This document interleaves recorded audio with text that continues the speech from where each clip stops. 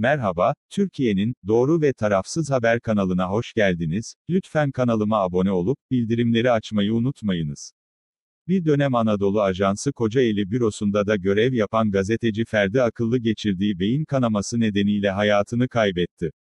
Zonguldak basınının tanınan ve sevilen isimlerinden olan ve uzun yıllardır gazetecilik yapan Akıllı, 11 Ocak'ta beyin kanaması geçirmiş ve bunun üzerine Zonguldak Atatürk Devlet Hastanesi'ne kaldırılarak tedavi altına alınmıştı. 11 Ocak'tan bu yana tedavisi devam eden Ferdi Akıllı, uygulanan tüm müdahalelere rağmen kurtarılamadı.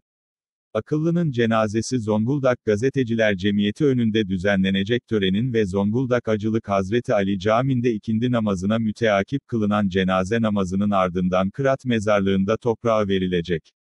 Haberimiz burada sona erdi, lütfen videoya like atmayı, unutmayın, hoşça kalın.